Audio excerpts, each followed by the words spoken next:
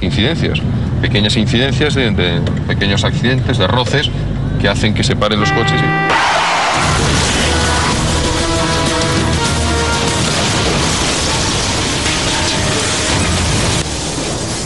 Bueno, ha sido un buen trayecto, ¿eh? Sí.